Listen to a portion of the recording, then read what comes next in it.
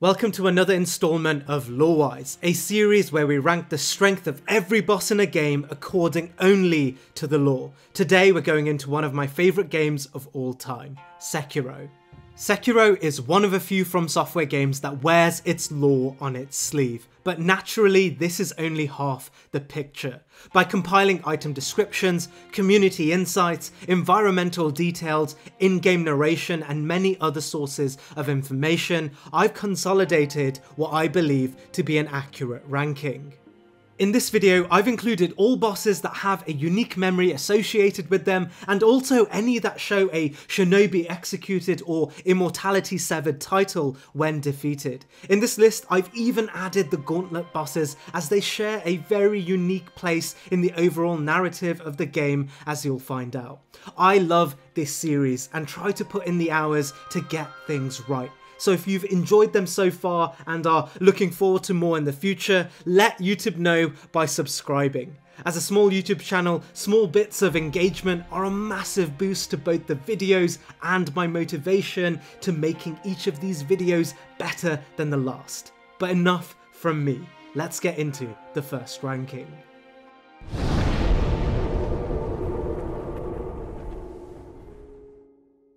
Right at the bottom of the list, we have the folding screen monkeys. The nature of these monkeys is less of a threatening challenge and more so a logical blockade for us in progressing through Senpou Temple.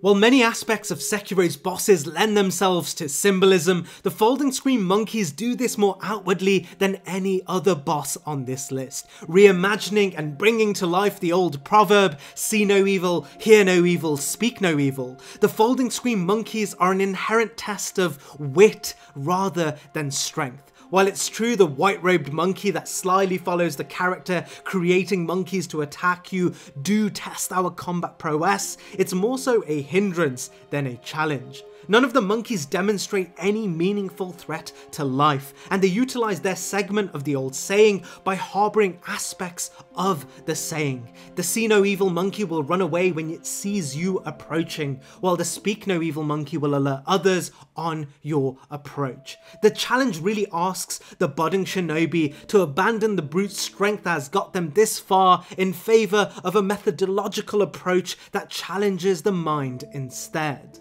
It's for this reason the monkeys land themselves this low of a position on the list, as the most they could do in comparison to the other entries lore-wise is survive, and the least they could do is, well, die. As the final hurdle between you and the Divine Child, the Folding Screen Monkeys act as the Hall of Illusion's final great illusion, but fall short of any notable power either of their own or as a totality placing themselves well below all the other entries on this list.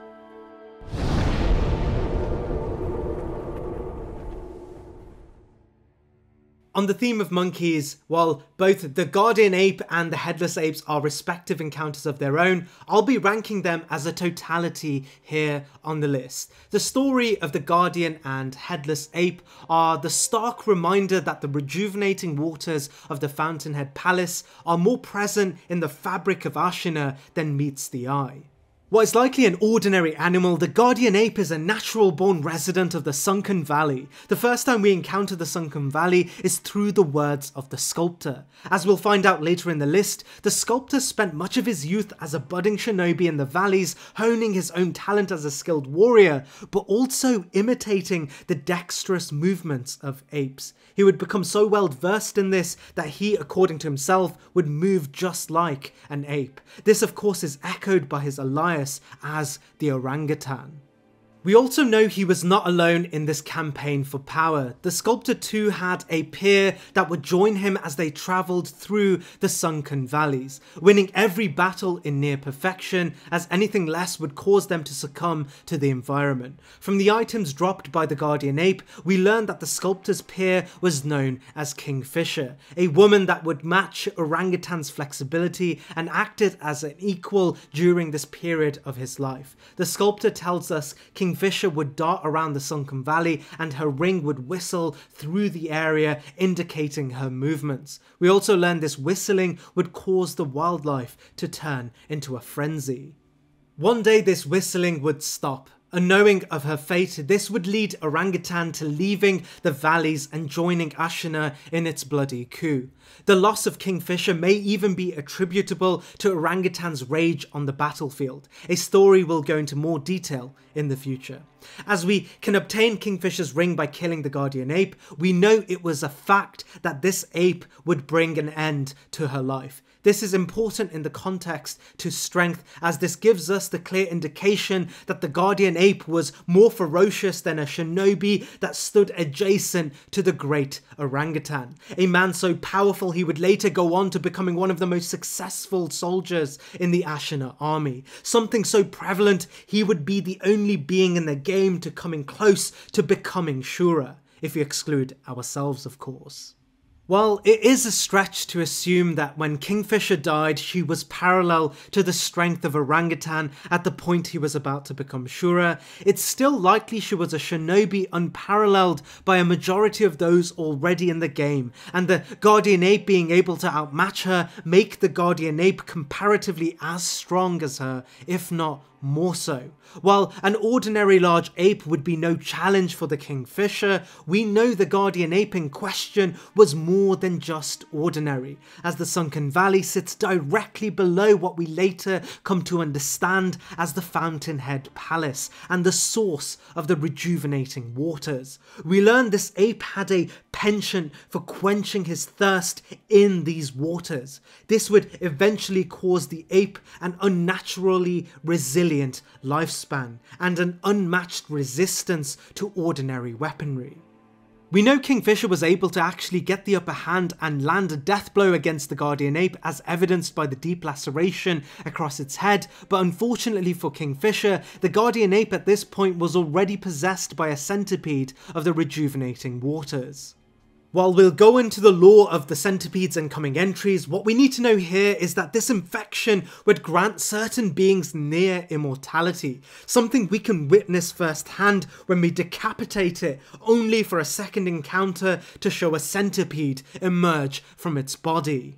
The Guardian Ape combined the immortality of the centipedes of the rejuvenating waters with an immense size and power to match, holding the accolade for taking down a shinobi adjacent to the great orangutan demonstrates that it's not an easy battle. However, as it is bestial in instinct, it lacks the elaborate and trained skills of those that will come after and solidify this position on the list.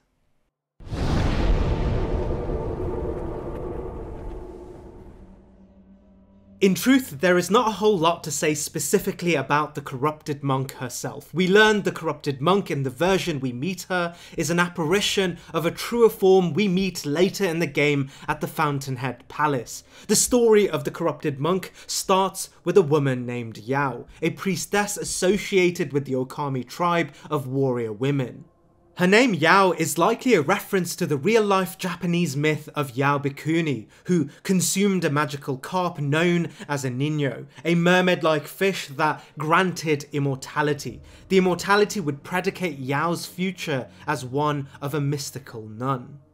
While not a one-to-one retelling, the Sekiro take on this story helps us understand the corrupted monk as having potentially been granted immortality through the consumption of a ningyo or its equivalent in Sekiro, which would be the great carps of Fountainhead Palace. We learn the Dragon Spring in its stagnant form would lay the conditions for centipedes to infest the waters. If we look at one of the former great carp carcasses on the bottom of the main lake in the Fountainhead Palace, you'll actually be able to spot small glowing centipedes all over its decaying corpse. More prominently in the narrative of centipedes is that all of those that seek immortality through consuming the dragon spring waters succumb to being possessed by a stagnation of their own life force, which in turn is represented by the centipedes eventually taking a hold of the host's body. While we've seen this in the case of the guardian apes, we see this too in other beings such as Hanbei and of course the corrupted monk in its true form. But how powerful was the corrupted monk in this true form? Well, it's likely the monk descends from the Okami tribe, or at least is affiliated to the tribe to some degree. Being associated with the Okami tribe grants a high degree of merit to the fighting prowess of the monk, as of course this tribe once hosted one of the greatest shinobis of the entire timeline, Tomoe. Tomoe's way of combat was said to resemble a form of dancing. This is echoed by a variety of the Okami monks in the Fountainhead Palace and extended to the corrupted monk too. When we understand the role the Okami find themselves dutied with at this point of the game as defenders of the passage to the Divine Dragon, and then we perceive the corrupted monk in its true form as what is likely their final defense mechanism against anyone attempting to confront the Divine Dragon, we can assume the corrupted monk was at the height of the Okami hierarchy of warrior monks. While the previous entry of the Guardian Ape shares a similar origin to the Corrupted Monk, it's the monk's heritage as a high-ranking Okami warrior dutied with such a sensitive task that places her above even in her spirit form.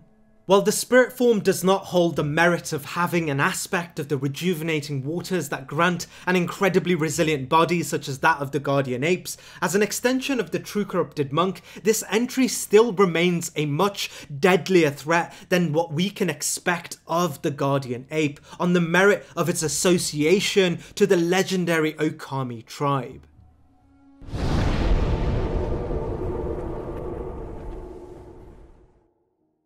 Emma, much like the sculptor, is a figure that follows us all the way through the game. Initially understood to be nothing more than an altruistic doctor aligned to Kuro and our own mission. While the majority of the game revolves around this narrative, there is a much more confrontational version of her we can unveil through certain events of the game.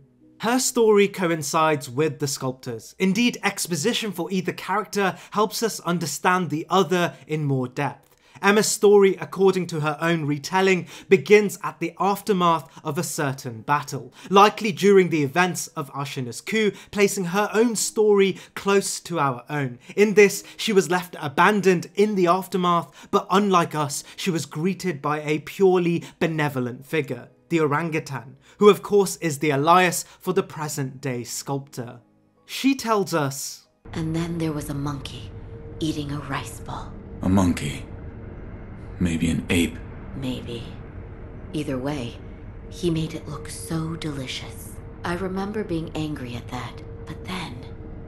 Then he gave me the rice ball. After being gifted the rice ball, we learn Emma would follow Orangutan and Orangutan would eventually accept Safeguard over the young girl. At this point, Orangutan was far too dangerous of a shinobi to look after the young Emma and would point Emma towards a doctor named Dogen. Dogen, renowned for his medical proficiency, was a perfect candidate for raising this girl in a non-hostile environment. It's likely Orangutan knew the perils of being a shinobi and in good faith Faith saw that Emma was not raised in this same environment.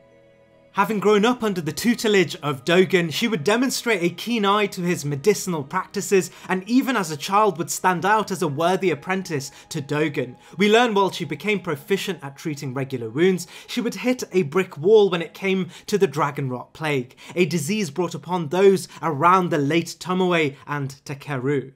We learn those with the dragon's heritage, such as ourselves, are destined to be immortal, but at the cost of sapping the life of those around you, hence creating dragon rot, an incurable fatal illness. Upon our entry into the story, her goals therefore already align to ours, as at the heart of Kuro's commands are severing the dragon's heritage and therefore the condition for dragon rot. In this, Emma will continue aiding us on our journey as our dedicated medical practitioner. But we also know that Emma is not only aiding us or even Kuro, but more than anything she seems aligned closest to Isshin. Although it's unclear when her tutelage with Isshin began, it's likely due to Dogen having a closer relationship to Isshin and Isshin taking favour towards the young Emma. As we learn of the dialectical antagonisms between Isshin and Genichiro, we understand that although Isshin shares a vision of saving Ashina, he detests the route in which Genichiro has gone down to materialize this reality, and there are clues to suggest Emma advised Isshin on the nature of Dragonrot being associated with the immortal dragon's heritage that brought him to this realization. Isshin on the same page as Kuro and Emma are therefore seeking a means to stop Genichiro from obtaining and perpetuating the Dragon Rot which of course would mean ending the dragon's heritage rather than allowing Genichiro to perpetuate it. We also learn that Emma under Isshin would also learn of the Ashina fighting style. When we ask her why, she eventually tells us she has no intention to use it against ordinary people, only demons, foreshadowing our own confrontation with her in the Shura ending. While we don't get a real telling for how powerful she was, we know she became a shinobi on the back of Isshin's tutelage, something that only few others have had the chance to do. We know Isshin would be present during the training of other Ashina shinobis, but we are never told he would mentor them on a one-to-one -one basis. This is exclusive to Emma. Immediately this puts Emma much higher than any regular Ashina shinobi as she was brought to the rank of shinobi from the greatest warrior to ever exist. We also know Emma spent time with both Tomoe and Takeru in the Divine Realm, watching both Genichiro and Tomoe during Genichiro's fighting lessons, further adding to her own dynamism around the art of war. It's not surprising therefore to take Emma's claim at face value that she would stand toe to toe against the demon if it had come to it. Surely then on this merit, Emma should land somewhere much higher than she already is. But in truth, Emma states herself that she is a doctor first, then a shinobi, and her combat prowess was more so a final safeguard against Orangutan in the case he would succumb to the weight of Shura. We never truly get any other context around Emma's fighting ability, nor does Isshin ever state the breadth of his teaching. Emma alludes to the fact that she has never got into a battle with a human before either, further dulling her assumed strength as a combatant against us. On the merit of her affiliation with Tomoe Genichiro, but more importantly as the sole mentee for Isshin, regardless of never fighting to any notable accolades, she stands tall as not only Ashina's greatest living medical practitioner, but one of its greatest shinobis too.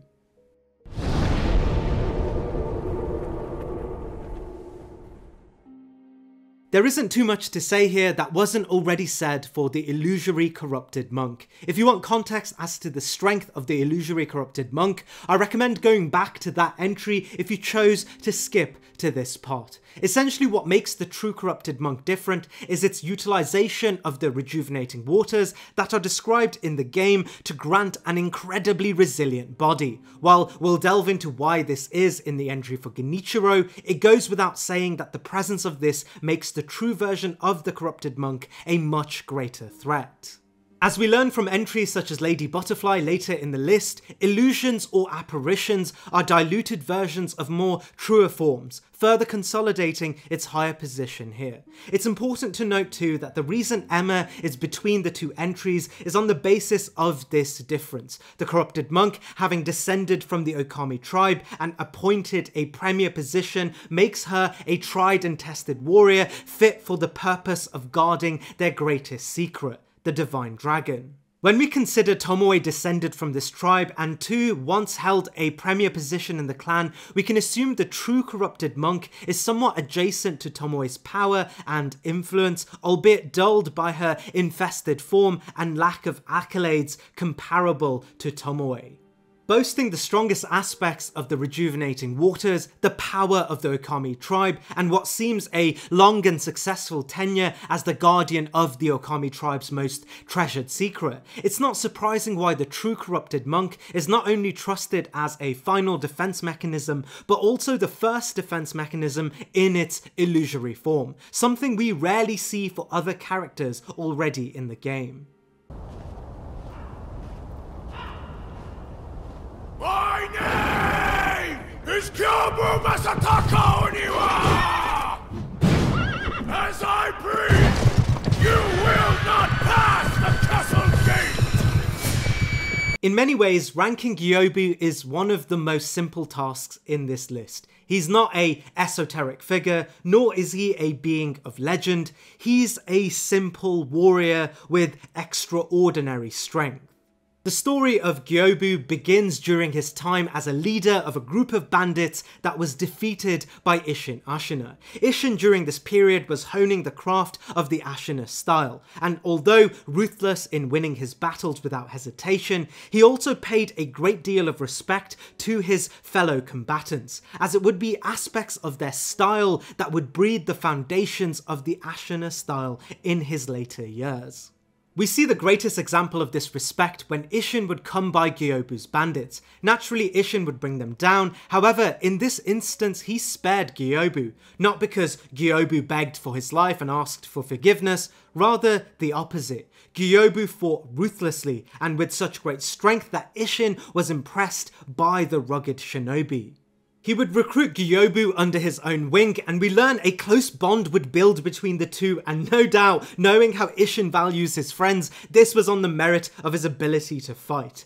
Unsurprisingly, Gyobu would land himself within the inner circles of the Seven Spears, and would likely even have one of the greatest roles in the coup against Tamaru, something evidenced as Isshin would award Gyobu Tamaru's spear, likely due to his valiant efforts during the Civil War, but also Gyobu's strength showing parallels to the great Tamaru. If we give Dragon Spring Sake to Isshin, we learn Gyobu settled among the ranks of Owl and Lady Butterfly, both shinobis that come much later in the list due to their respective achievements and power. And as Gyobu stands adjacent, at least in the eyes of Isshin, to them, it elevates Gyobu's position significantly. Faith in Gyobu's power extends further than just Isshin's own approval. We learn by the time we meet Gyobu, he sits at the gates of Ashina acting as the final bulwark against any potential threat to Ashina Castle under the command of Genichiro, who of course takes on the premier position as commander of Ashina in Isshin's absence and bad health. Curiously, if we spend time listening to at least two different conversations near the gates, we learn soldiers reiterate the concept that so long as Gyobu is alive, the gates will never be breached. It's clear Ashina held Gyobu to an incredibly high regard. This is further echoed as Genichiro places Gyobu as his second in command, something that makes sense as those second to Isshin were the inner circle of the Seven Spears, but in the absence of Owl and Lady Butterfly, naturally Gyobu was chosen, further consolidating the fact that Gyobu as a war-hardened shinobi is second only to those closest to Isshin. Wielding Tamaru's spear, carrying the blessings of Isshin and Genichiro himself, Gyobu is still alive and well at the point we meet him, having already killed hundreds of Interior Ministry forces, as evidenced by the littering of bodies through the battlefield. The Interior Ministry, including their lone shadow shinobis, told to be masters of war, were no ordinary threat, and as he stands alone against the mountain of their corpses, we truly learn why Gyobu stands here on the list, as one of the greatest shinobi of the Ashina clan, trusted to stand alone affront the towers of the castle.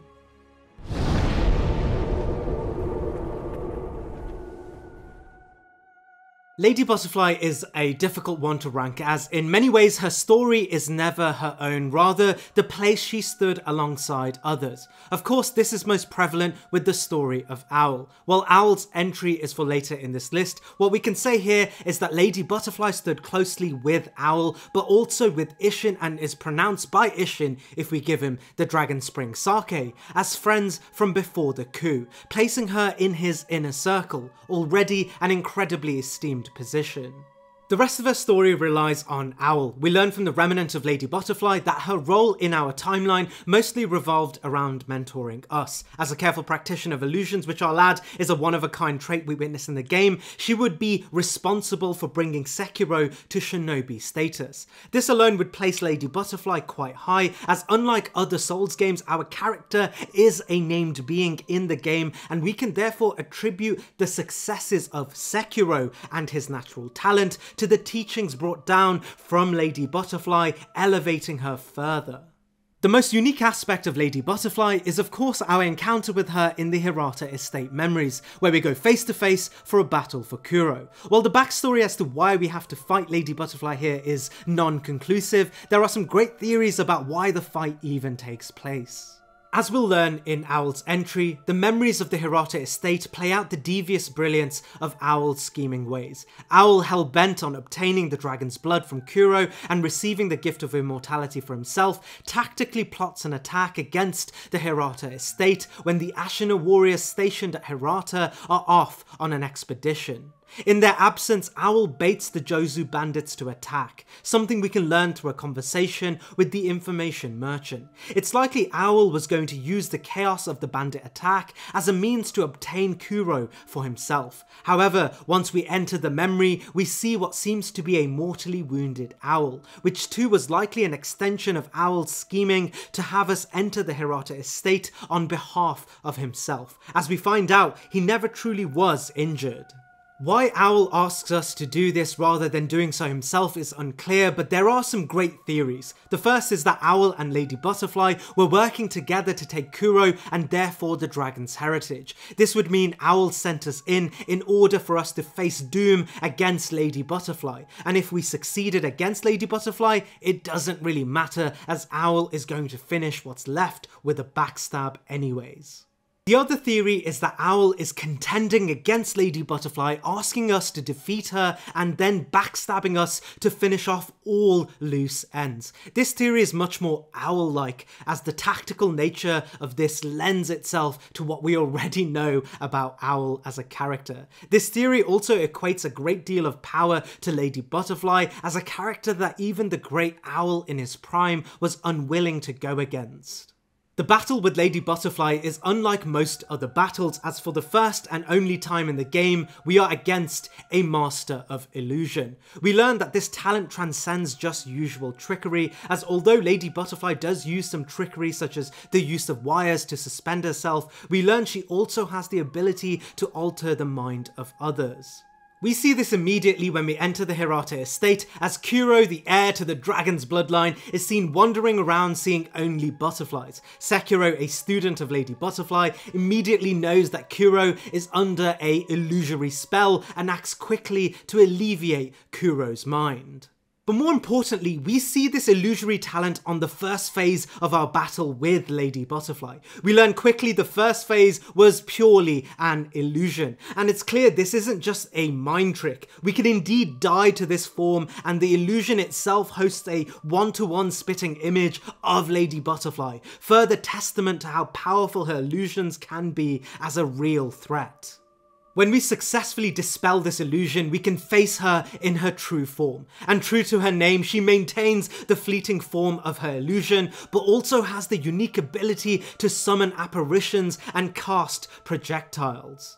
When we equate her proficiency in illusory arts, a skill that no other entity in the entire game is able to demonstrate this magnitude of effectiveness with, and then add the context that she, just like Owl, were in the inner circle of Isshin's shinobis responsible for overthrowing Tamaru's regime, we are looking at not only one of the greatest shinobis in Ashina, but also a dynamic threat that makes her more than just an orthodox powerful shinobi.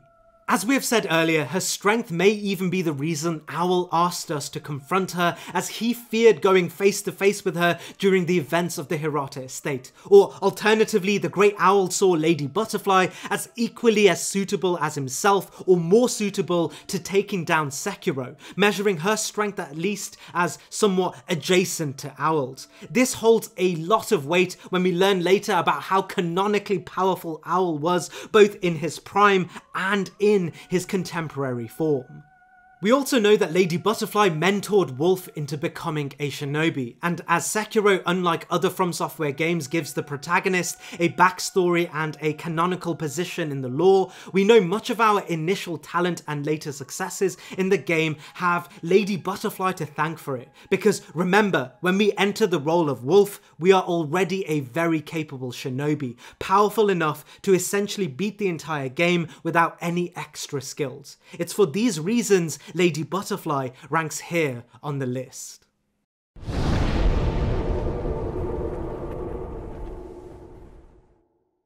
I love this entry because it lets me go into the life of one of my favourite characters in the entire game. The Demon of Hatred is the story of Sejiko, a man we know as the Sculptor or even Orangutan. While the Demon of Hatred's identity is initially elusive, if we are paying any attention, we learn that these are both the same beings. Another reason I love this entry is because it lets us, for the first and only time, speak about the concept of Shura in detail.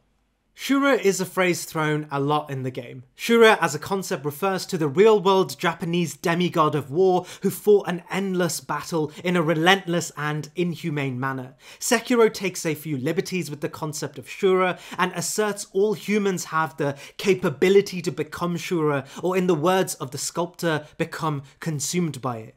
If one is a successfully unstoppable enough combatant and seeks to kill for the sake of killing itself or without direct purpose, aside from the joy they get from killing, they have the capability of becoming Shura.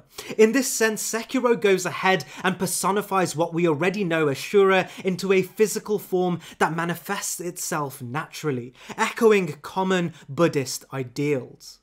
Karma pins this concept as we learn all shinobi inherit the karma of those they've killed and therefore internalize that karma. While it may seem inevitable that any successful shinobi are destined to become Shura, we know karma can be balanced, which is precisely why fervorous killers like Isshin were able to save off being consumed by Shura through techniques such as the Breath of Nature, a non-indulgent practice that forces internal balance and posture, expelling regret and therefore therefore the burden of others' karma, while alternatively killing mindlessly compounds regret with no method of exhalation. There are two major plot points that refer to Shura. One is our own pathway to becoming or being consumed by it. The other details the story of a man that averted this reality. The sculptor's story is something we can get quite familiar with. He is our host after all, and a majority of the gameplay progression revolves around interacting with him. His consistent appearance is intentional as it foreshadows a few potential endings for us. But the story of the sculptor takes us back in time during a period he was only known as Orangutan, a name built off his reputation as a rogue shinobi that would spend a majority of his time learning alongside a peer in the art of war and the dexterous movements of a monkey. We learn during this period he would become so proficient with moving swiftly and defeating his foes without a single mistake, he would affectionately be referred to as Orangutan. During this period with his partner Shinobi, he would build affectionate memories as they both trained in the valley. After giving the sculptor monkey booze, he tells us he and his partner were masterless as no one would truly understand their bond. But one day the partner shinobi would disappear. This of course refers to the story of Kingfisher we've already detailed in the previous entry with the guardian ape. We are given more exposition regarding the sculptor's story when we delve into the story of Emma. As we have already discussed, her story is not too dissimilar to ours. Emma's family were killed in the coup, however, unlike us, she was greeted in pure kindness. She tells us she came across a monkey that offered her a rice ball, an act of kindness that she would hold on to. It's likely that the monkey in question was indeed orangutan during his time as a shinobi and his involvement in Ashina's coup. And as the civil war raged on, Orangutan would demonstrate himself to be an incredibly capable force. It's likely the time of this war would coincide with the loss of his compatriot that we now know as Kingfisher. As we have already discussed, this compatriot was his closest friend, the one person that shared his path to becoming a shinobi in the valleys of Ashina. With grief in his heart and a war yet to be won, Orangutan would become an absolutely vicious fighter, slaughtering thousands during his time, and once the coup ended, continued an onslaught of killing void of any objective, laying the groundwork to become Shura. We learn Orangutan's success came with his proficiency with fire, a symbol of the shadow of Shura stirring within him. Isshin, representing the antithesis to Shura, would acknowledge Orangutan's rampage and amputate his arm, rendering him unable to continue utilizing his signature fire, stopping him from becoming Shura. We are never told of any other entity in the game getting this close to becoming Shura, and we are explicitly told that if Isshin did not preemptively strike against Orangutan, he would, without a doubt, have become Shura. Shura as a physical manifestation would likely be one of the greatest threats in the entirety of the game, as we find out during the Shura ending that our character as Shura would be an unstoppable force, akin to a true demon. Sekiro as Shura is outright referred to as a god by the item Another's Memory Shura, which tells us Memory of Shura, told via Ashina folksong.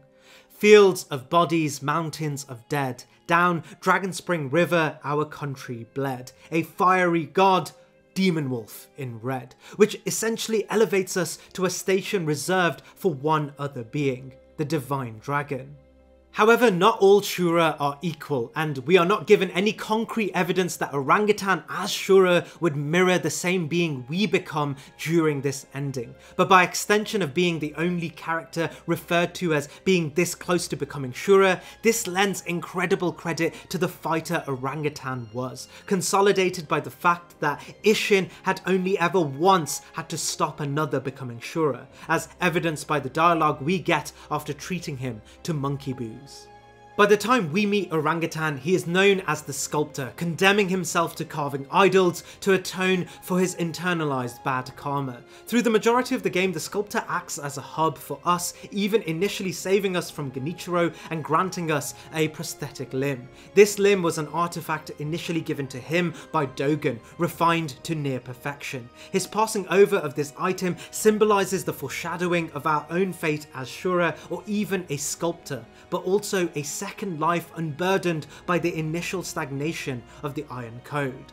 While Ashina is in the midst of the Interior Ministry's assault, while we've left in search of the mortal Severance, we learn the sculptor finally accepts the inevitability of his fate as a subject to Shura. And as the information broker tells us, he rampages towards the Interior Ministry for one final battle, and the release of an aspect of Shura finally fighting with purpose to protect Ashina.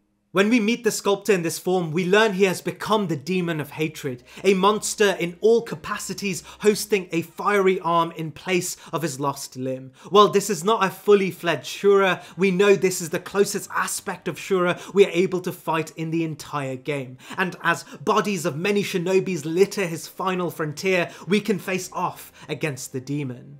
Enveloped in fire, this battle reminisces on what made Orangutan the fierce unstoppable force he used to be, which is then compounded by his new demonic form, the aspect of hatred, something that personifies Shura the most. Remember, Orangutan was so fierce that for the first time in Isshin's life, he had to step in to stop him. Something not echoed for many other shinobi, including Owl, who as we'll find out is one of the greatest shinobis in the game with a penchant for becoming Shura himself. And if we then equate what we know of Sekiro becoming Shura as what is likely the greatest power the game has ever seen, akin only to a god, the Demon of Hatred adjacent to this fact holds a position as one of the greatest threats in the entire game. Something quite quite nicely echoed by the boss fight itself. I've died to this boss too many times to count.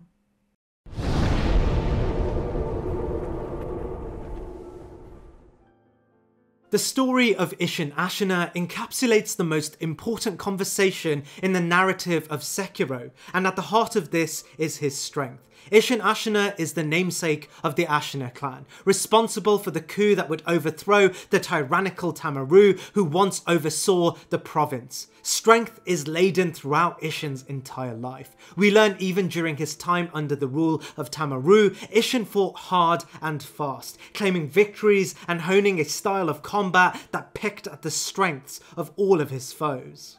It was Isshin's respect for his opponents that consolidated their memories into his own fighting style, and the blade his vehicle to retell these stories. It's this belief that grounds the rules of the game itself. Sekiro, taught under Wolf, who too was inspired by the Ashina style, requires reconciling memories to grow stronger and more talented. Although Isshin's earliest years are never spoken of, in many ways it's not necessary, as his story really begins at the moment he formed the Seven Spears of Ashina. As already spoken of, these were comprised of warriors in the land that shared an ideal to overthrow Tamaru.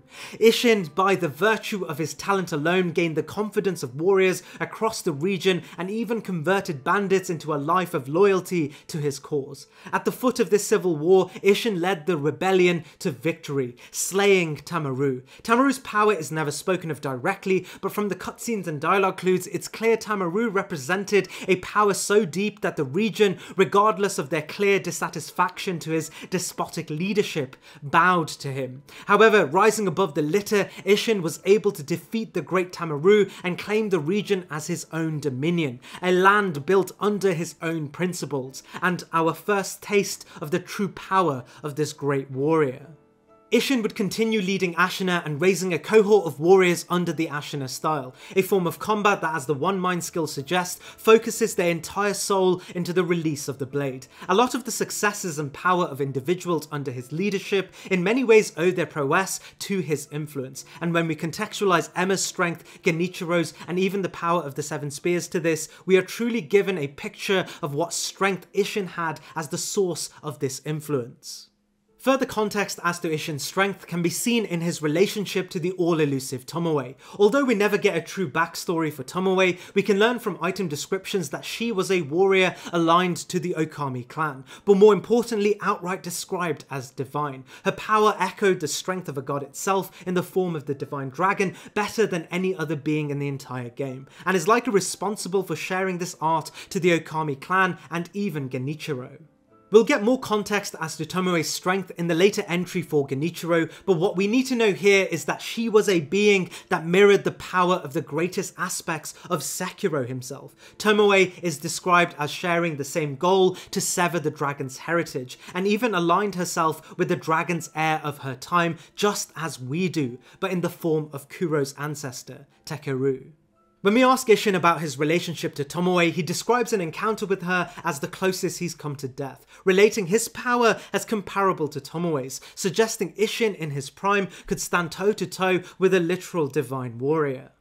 However, the Isshin we are speaking of today is very different to his Sword Saint past. He is currently under a life-threatening ailment that has clearly brought down Isshin to a much weaker state. It's inferred from the dialogue of the Interior Ministry's spies that the Interior Ministry only chose to act on their plans to invade Ashina on the realization Isshin was afflicted with this ailment, suggesting the power of Prime Isshin is what held back the ferocity of the Interior Ministry for the entire timeline up to this point. So how powerful is Isshin in this form? Well, we get our first insight into this when we meet a peculiar samurai referred to as Tengu. It doesn't take long to realise this is indeed contemporary Isshin. He has taken arms and is hunting rats. The rats in question are the Interior Ministries and, in some cases, the Senpou Temple's spies but it seems it's not just the spies Isshin was able to dispatch, as whenever we do meet Isshin in this Tengu persona, his station is littered with the dead bodies of the Interior Ministry's greatest warriors, referred to as the Lone Shadows. While the context of the Interior Ministry's form of combat and prowess is never directly spoken of, it's clear they were an incredibly capable force for more than just their numbers. We can see the devastation these warriors took towards the end of the game as the Interior Ministry's forces cut down a vast majority of Ashina's own men. It's clear they had proficiency in all forms of weaponry and the Lone Shadows were the elite members of their arsenal. Shinobis too, the Lone Shadows were granted the confidence of the Interior Ministry to carry out the most sensitive tasks, and this duty befit their strength. Considering Isshin was able to single-handedly take on a wide range of these warriors is further evidence that even at death's door, he was still incredibly powerful. A statement reiterated by the memory of Isshin, which states Isshin Ashina was a true master of the sword, no less in his veil of years. But our true encounter with Isshin as a boss is what truly gives us the image of his power at this stage of his life. Upon Emma's defeat, Isshin, as he had done in the past, intervenes as a means to stop you from becoming Shura. This fight is a perfect exemplification of the rawest tenets of the Ashina fighting style, utilising the Ashina cross, Ichimonji, and most importantly One Mind and little else. As Isshin is the only being noted to be able to utilise One Mind, we can infer that he, even at his old age, comes out on top as the greatest soul practitioner of the Ashina style, while other entries later in this list take out on top due to their more dynamic utilisation of fighting styles, and more importantly their good health. If we're going by who in the contemporary time was the most powerful Ashina styled shinobi, this title still sits with Isshin Ashina, despite his withered form. It's in this reasoning that I place Isshin above the Demon of Hatred, as it was the utilization of his skills as an Ashina warrior that once stopped Prime Orangutan from becoming a Shura, and I believe with the evidence of the One Mind skill, iterating he maintains a great degree of his proficiency over the Ashina style, that he again would be able to overcome Orangutan as the Demon of Hatred. This is further made apparent as it was Isshin that would teach Emma into becoming a shinobi, and she was taught specifically with the intention of stopping Ashura if it came to it. Isshin, as her mentor, likely was still well versed in doing so, and from the description of the One Mind spell, solidifies that he could damn well do it again.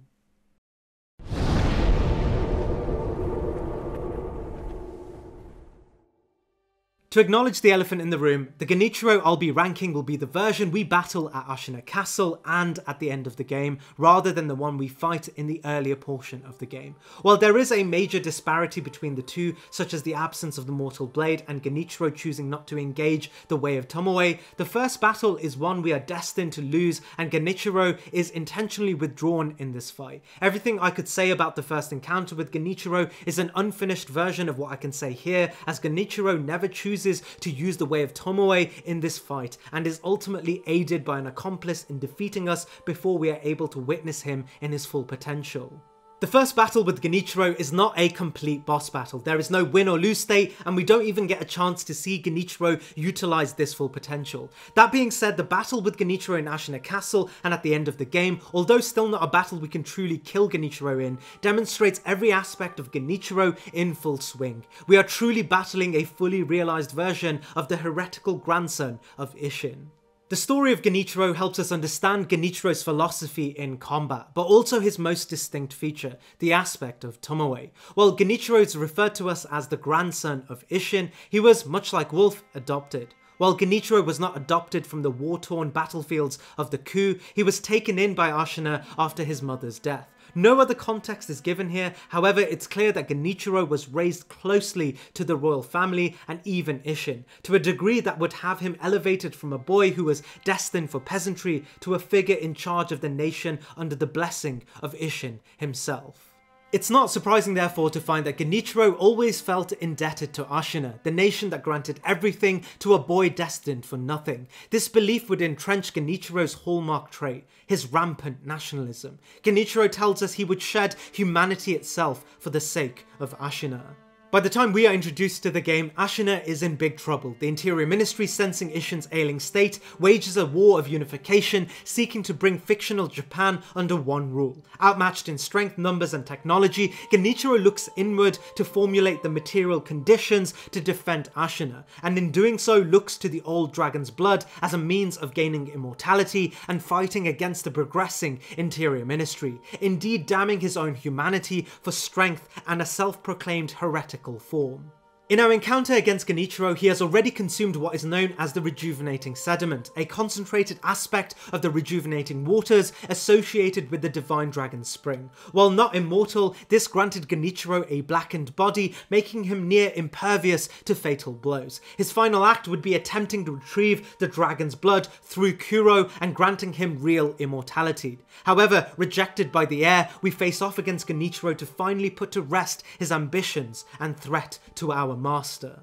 While we will delve into the aspect of the Black Mortal Blade alongside the Way of Tomoe soon, Genichiro even in his regular form is notably formidable. While we don't know what aspect of Isshin was cast into Genichiro's fighting style, it's clear he takes Isshin's adage more intensely than even Isshin himself. This of course being the philosophy that winning a battle is of the utmost importance. Genichiro's ordinary fighting style does indeed collaborate many of the important ideals of Isshin, aspects we see in various moves he utilizes, such as the Ashina Cross. His grounding as a powerful Ashina shinobi is solidified further too by his position as the commander of the army, a position Isshin must have intended for Genichiro to take. However, more important to Genichiro's strength is the influence of Tomoe. Isshin tells us that the lightning of Tomoe was brought to the mortal realm by Tomoe, taught to the Okami tribe, but more importantly to Genichiro. As Tomoe was Genichiro's mentor and likely the figure that brought Genichiro to a level of a shinobi that he would later become, Genichiro was so powerful that Ashina and even Isshin himself would reserve a premier position in the clan for Genichiro.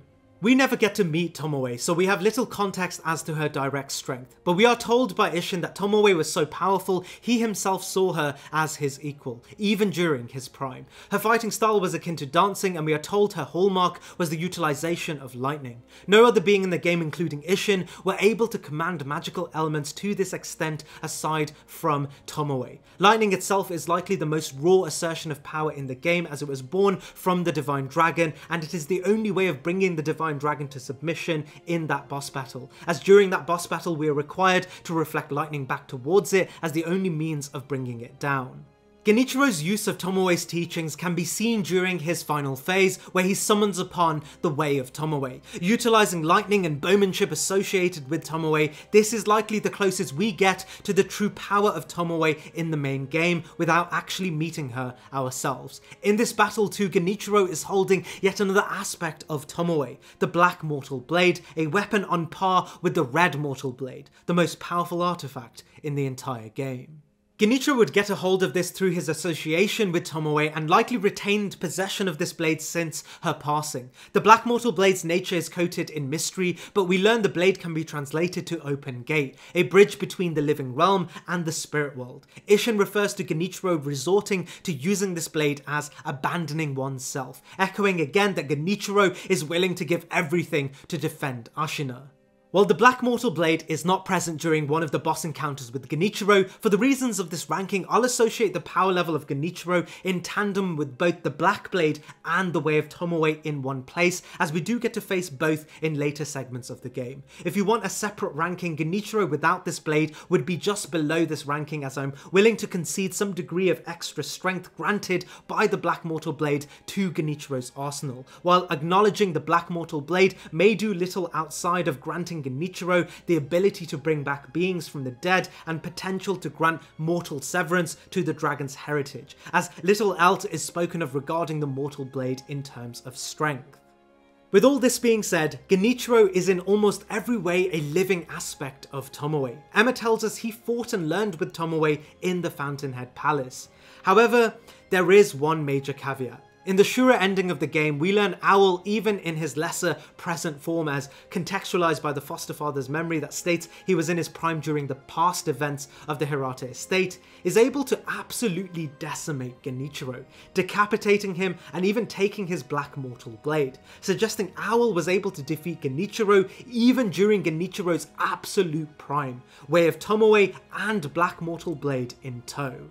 Rarely in lore related rankings do we get to see a one-to-one -one boss comparison in this fashion, and it makes my job easier in assessing Genichiro not as a perfect mirror of Tomoe, rather empowered by the teachings of Tomoe, but still lesser than the great shinobi owl. Later in this list we will confront inner Genichiro. We learn from the remnant of inner Genichiro that the present Genichiro during his life on Earth never did reach the heights of Tomoe, and Owl being able to bring Genichiro down is just a consolidation of this fact.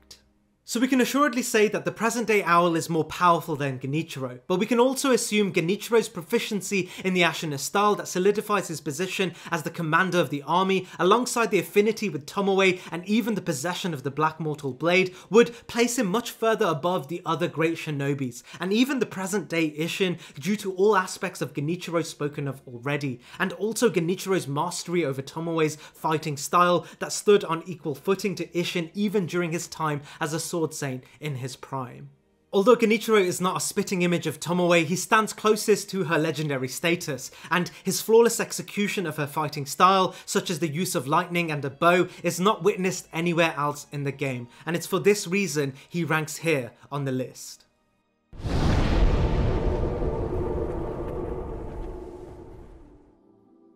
Owl's past is plagued in a lot of mystery. Even his name was a later development. We learn from a certain ending and from item descriptions that Owl's true name was Usui. His time as Usui is never elaborated on, but we know he was a careful practitioner of the Iron Code, to follow the commands of one's father first, and then their master.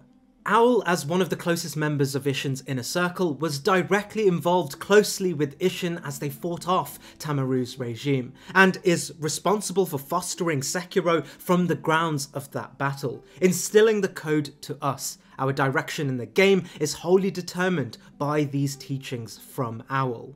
Owl's involvement in the coup, though a deed that would elevate any character in the game in terms of ranking, is overshadowed to a much greater degree as we go through the game. We learn alongside the coup, Owl is referred to as a Great Shinobi, a careful title echoed by the memory associated with his boss battle. The memory is titled Memory Great Shinobi, suggesting the distinction of great was reserved only for Owl, as even the memory does not distinguish it as Owl of the Great Shinobis, rather just referring to Owl as the Great Shinobi, as if it was common understanding of Owl's esteem. The context of great is rarely granted in the story, even amongst the seven spears of Ashina and even Ashina's inner circle. If we give Isshin Ashina sake, we learn that amongst his inner circle, only Owl, Lady Butterfly, and the orangutan were the closest in rank and likely power. But regarding Owl's story, there is one huge elephant in the room, this being the memories associated with the events of the Hirata estate. If we travel back in time, we can meet Owl curled over in what appears to be mortal wounds. The Hirata estate had been ravaged by Jozu the Drunkard and his bandits, and had seemed to have gained the upper hand over Owl and decimated the estate. But how does a bandit, albeit a bandit leader of some distinction, gain the upper hand over this great shinobi? Well, we learn as we progress the game that Jozu's assault came with a variety of peculiar circumstances. Those that would survive the assault, specifically the information merchant, tells us that the bandit's assault was far too elaborate and well timed as it matched the absence of the Hirata shinobis. We can infer this was in fact Owl's handiwork, acknowledging the absence of the Ashina warriors, Owl would bait Jozu's men as a means of causing chaos and kidnapping Kuro for his own gain. In this we learn Owl was not really mortally wounded at the Hirata estate, only playing up to these wounds to lure the meddling of Wolf into the Hirata estate and to face Lady Butterfly, likely to our death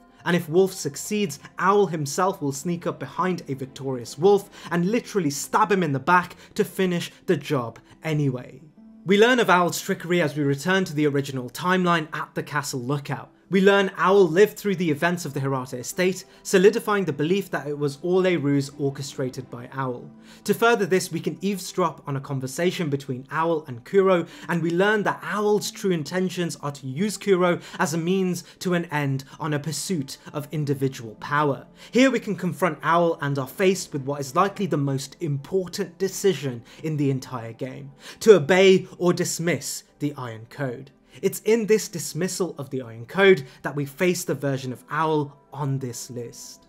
But to truly understand how powerful Owl is at this point of the timeline, we have to actually choose the alternative choice, to side with Owl and the Iron Code. This will set a sequence of events that leads to the previously mentioned battles with Isshin and Emma. But between our battle with these two shinobi, we learn that Owl was keeping himself busy too.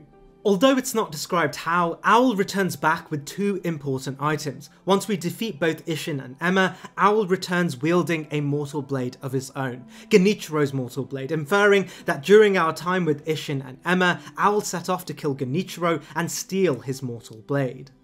But we can also learn he did not just steal Genichiro's Black Mortal Blade, as Sekiro fans were able to get a better POV of the cutscene, and we learn in this cutscene where Owl returns, he places Genichiro's decapitated head besides Isshin, indicating a clear triumph over Genichiro, and not just the regular Genichiro we face at the beginning of the game, but the Genichiro that wielded the Black Mortal Blade and utilized the way of Tomoe in his final form, solidifying solidifying this version of Owl to be canonically more powerful than the greatest form of Genichiro, and justifying Owl's place here on the list as Genichiro's superior and the great shinobi of Ashina.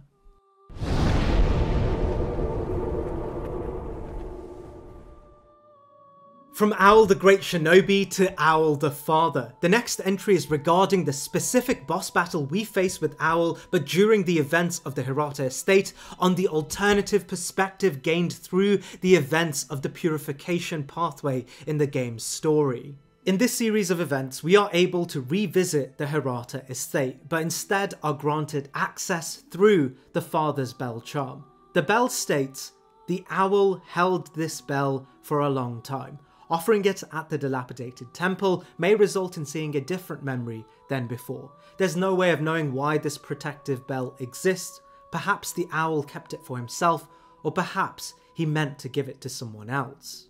While the lore of this encounter is foggy, as Owl canonically survives up to the point we meet him in the present day as per the last entry on this list, Reddit user Antiquipus gives a great explanation drawing attention to the item Remnant Foster Father, which states the battle memory of an extraordinary foe. Although distant, recollections of such a memory provided sustenance for the wolf, Owl took in the hungry cub on a whim and raised him as a shinobi. The process was so engrossing that he hoped they might enjoy a true battle to the death someday. He got his wish, if only in an old memory. This suggests that Owl wished to go one to one with Wolf to their death one day. However, to plausibly have this battle, Owl recorded a version of himself at the height of his own power in order to give this memory of this greatest form of himself to Wolf to finally fulfill that wish.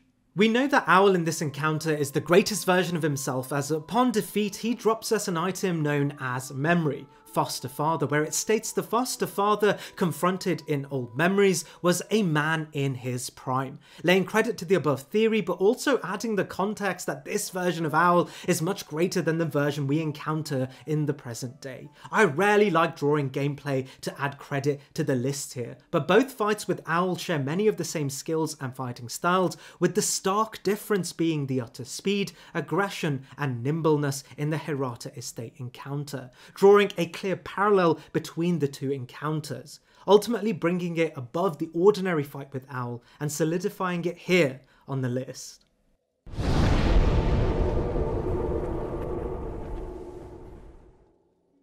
As with all gauntlet based boss battles, something special happens when we encounter Genichiro's inner form. To contextualize this, let me draw your attention to the item we receive on defeating Inner Genichiro.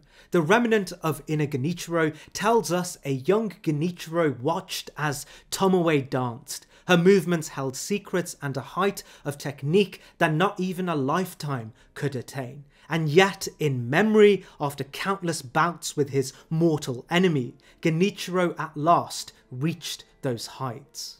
This lays an important framework in how we can understand both the living Genichiro as already spoken of, but more importantly the inner Genichiro we fight. As we have already stated in the main game, Genichiro is the closest representation to Tomoe that we get in the main game. However, he still pales in comparison to the woman that would go toe to toe with Prime Isshin.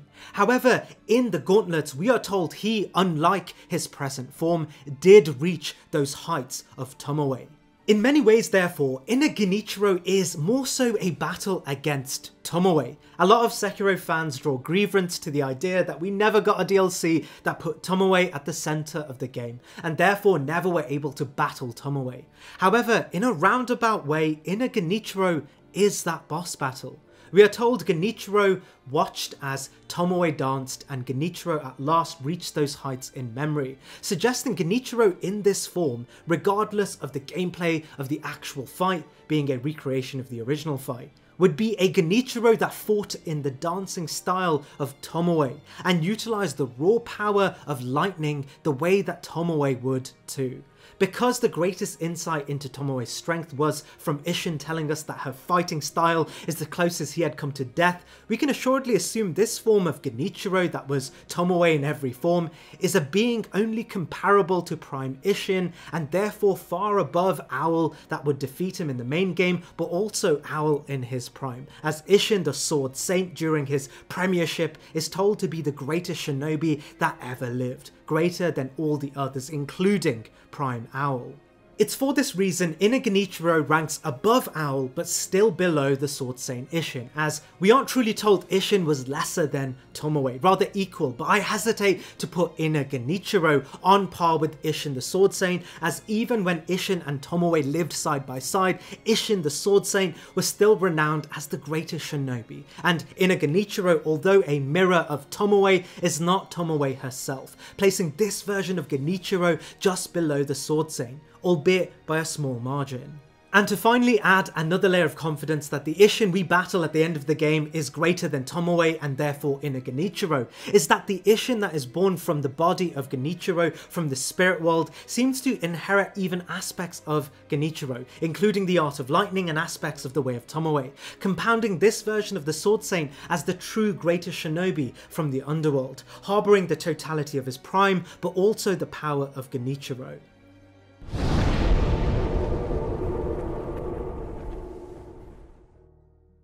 Which takes us perfectly to Isshin the Sword Saint. But before I go into Isshin the Sword Saint, I want to quickly clarify why Inner Isshin is on the same ranking here.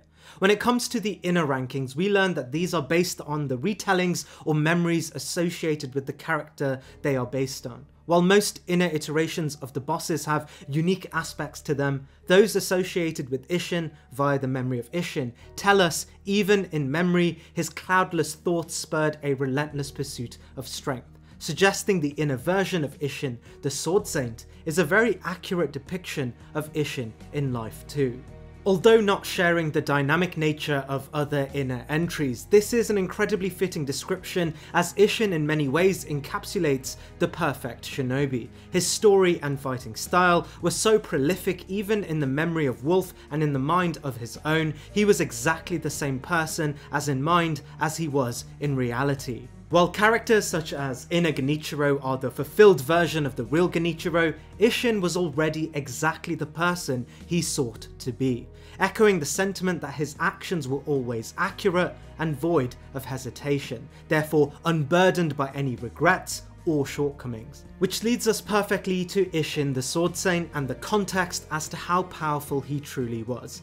I won't bore you with too many details about Isshin, as most of his origins and story have already been detailed in his previous regular entry as the present day Isshin. The distinction between that Isshin and the version we fight here is that this version of Ishin is one in his absolute prime.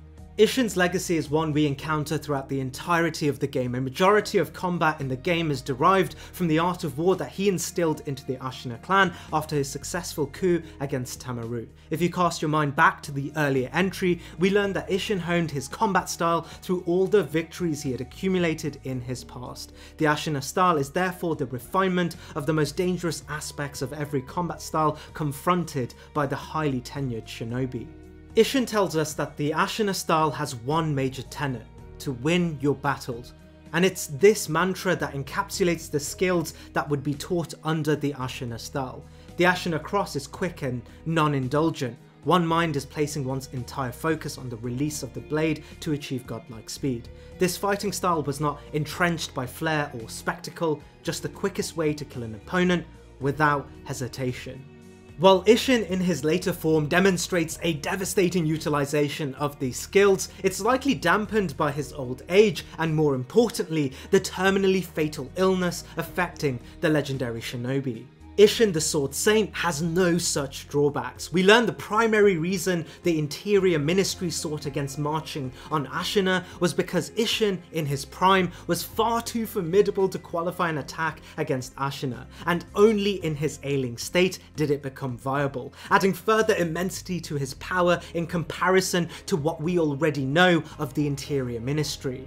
But to add a further note, I believe this Isshin that we battle at the end of the game is more than just a prime Isshin unplagued by an illness. It's one that is also compounded by the strength of his grandson, Genichiro.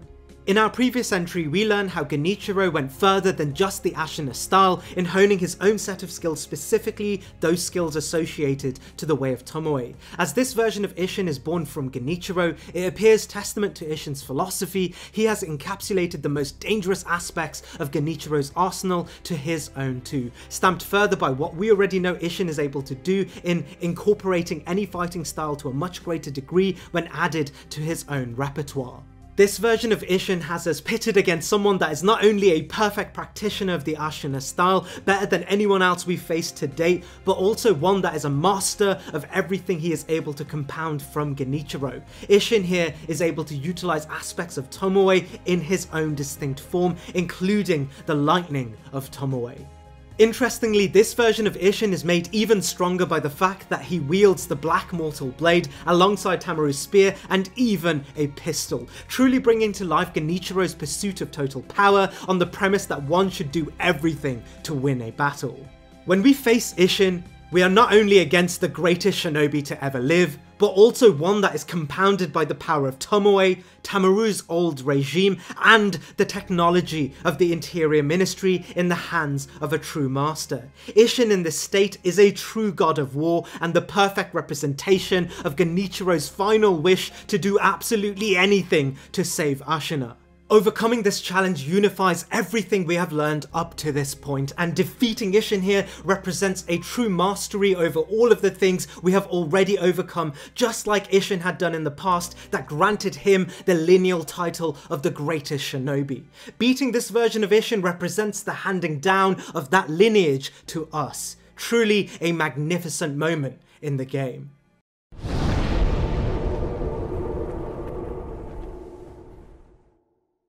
With all of that being said, this next entry may come as a surprise. After digging into the lore, I think this next entry not only makes sense, but is a perfect symbol of the greatest challenge in the entire game. The trauma of an orphan pulled between two worlds. As we have come to know, the special gauntlet boss battles in this game take a rapid departure from the usual recipe in the main game. At their heart, these are not battles that take place in the usual timeline, rather memories that you can confront. Assessing power is therefore not as comparatively equal, but there is a way of contextualizing the inner battles to the rest of the game. In many ways, this entire ranking list has always been from the perspective of Sekiro. When assessing who is the strongest boss in the game, we are essentially asking who are the greatest bosses we as Sekiro have to confront in the game. While it may have been easy as we have with Inner Genichiro to suggest the inner version of Owl is just an elevated battle in the mind of Wolf, the description of the item Memory Inner Father tells us this inner boss we confront is very different to those already spoken of earlier. The description states, Deep within the mind, the father stirred. The man Wolf confronted in memory was more than Owl could have ever hoped to be. In this, we learn that Owl, in Wolf's mind, did not represent the one to one power of Owl or even Owl at his prime, rather, the impact Owl had to Wolf's mind, which was much greater than Owl physically could ever be. As already discussed, a core tenet of the game has always been our obedience to the Iron Code and the lasting power Owl had imprinted onto us even before we took a hold of Sekiro as a protagonist. We know Sekiro, so obedient to Owl and the Iron Code, literally sat idle on Owl's departure, awaiting command before acting in any form.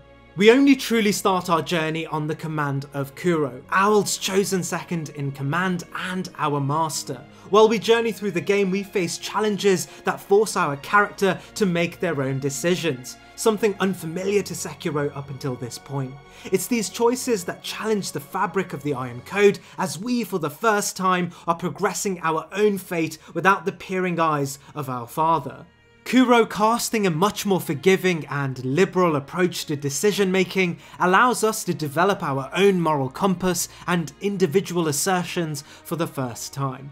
We choose outcomes of questlines, cast judgments of our own, and make crossing decisions that bear impact on Ashina as a whole. But throughout this journey, there are still flash moments where we cannot make decisions that go against the Iron Code. Dialogue choices indicating we are still bound by the memory of Owl, even in his perceived permanent absence, or even in the mind of Wolf at this point, abandonment. This internal dialectic comes to a head when we finally face Owl at the peak of Ashina and are asked to make the decision to either obey the father or obey the master. This single choice is the most impactful decision you can make in the entire game. If we choose to side with the father, we have to physically confront the emotional bonds we have developed with affectionate characters such as Emma, Kuro, and even the ailing Isshin.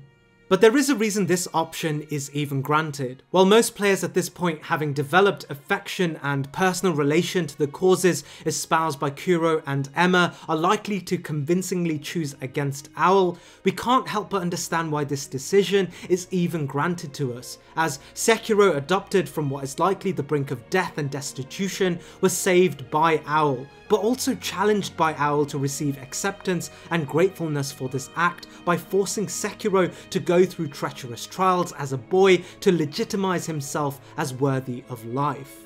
Lady Butterfly's remnants tell us Sekiro was forced to learn to become a shinobi through strict methods and likely life or death battles too. It would not be a stretch to suggest in the moment Sekiro is asked to choose between Owl or Kuro, he has to confront what is likely the hardest challenge in the entire game, appeasing the unloving father in an attempt to finally after years of trauma win his affection and legitimize our heritage or challenge your trauma and acknowledge and overcome, consistently being used as a means to an end by a father that would never and has never loved you since the day you were found on the battlefield.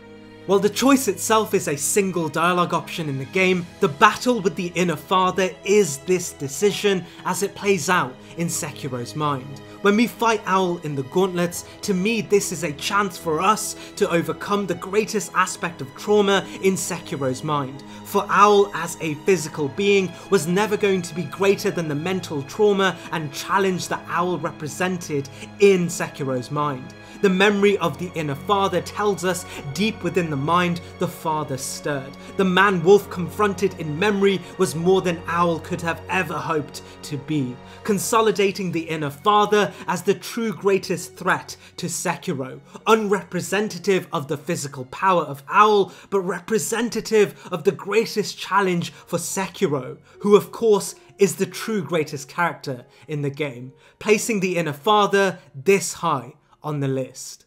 The Inner Father boss battle is the mental contention between us choosing to remain a starving wolf or becoming Sekiro of Ashina.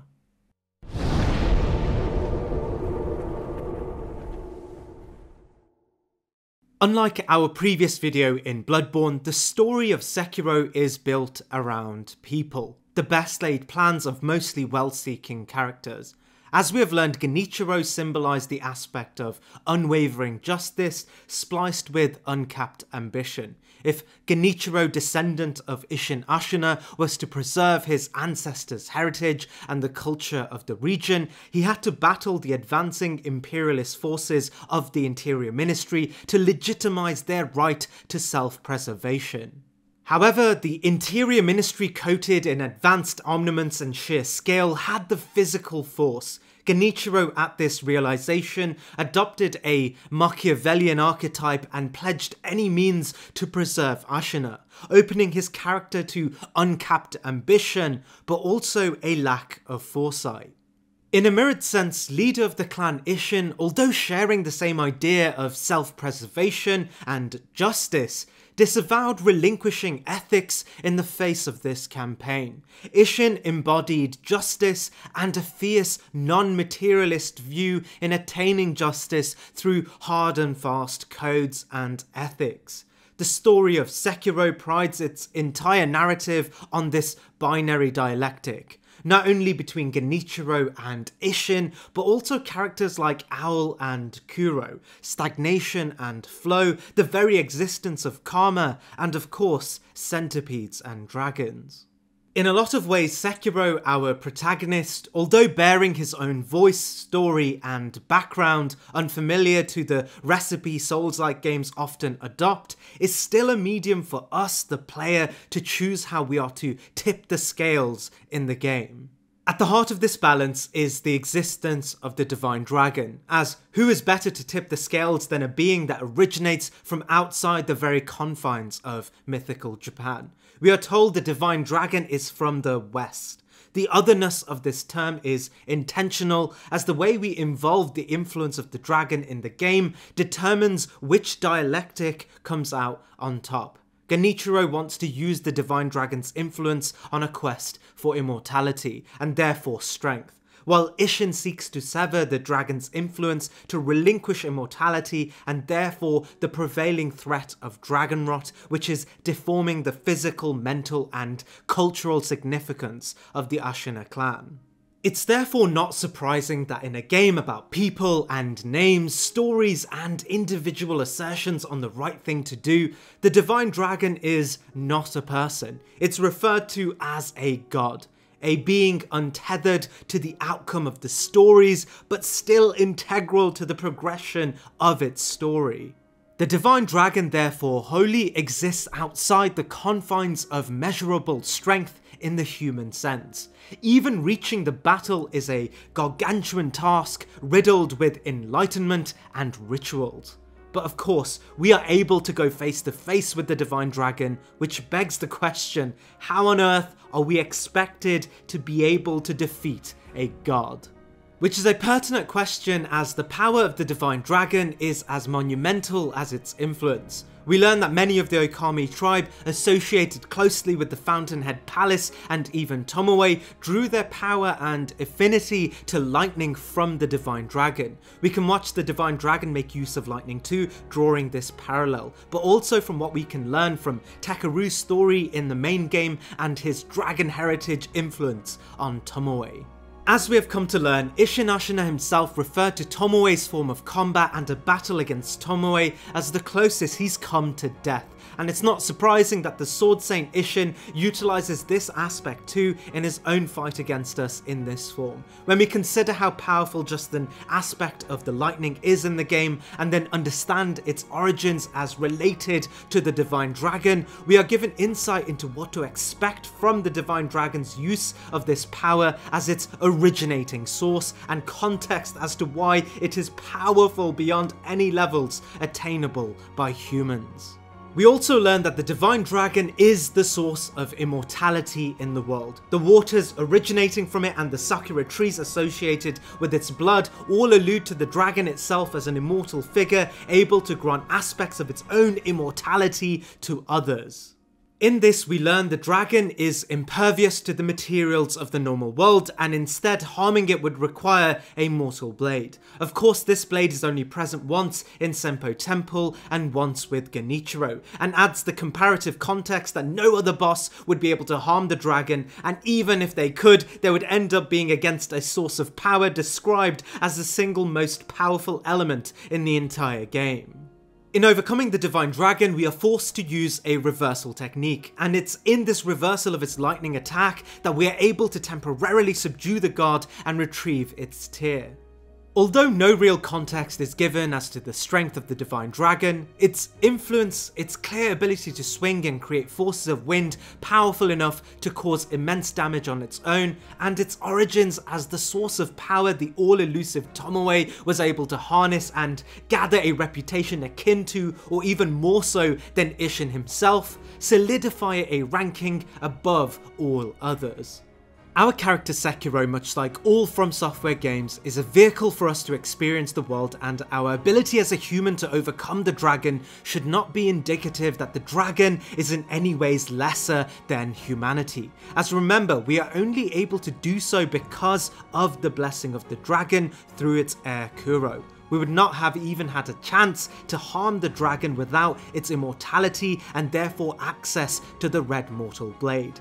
In this sense, we can only overcome the dragon purely because the dragon has granted us immortality, essentially defeating itself. The Divine Dragon's position, much like dragons in other From Software games, is a symbol of a higher power that contextualizes the ambitions of humans seeking more than their physical components, and it's the merit that the dragon is able to grant this more than human power that solidify it as a great being in Sekiro.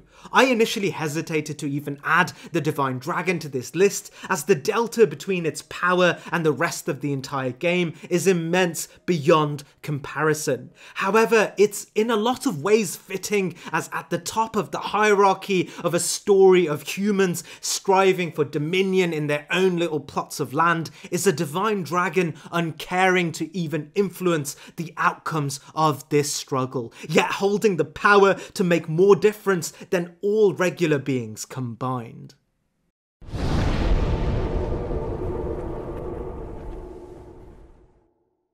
Thanks again for making it to the end of this video. For those of you who stuck around, I'll let you into what I'm thinking about for the next few videos. So as the Elden Ring DLC has already been announced, I have a perfect timeline for releasing that video later in the future. But before then, what would you guys prefer to see? Would you prefer a Demon Souls ranked video, or alternatively, other titles such as Lies of P?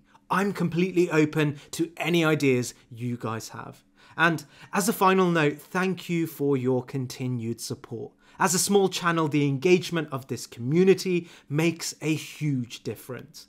I appreciate you all, and I'm sure I'll see you guys in the next one.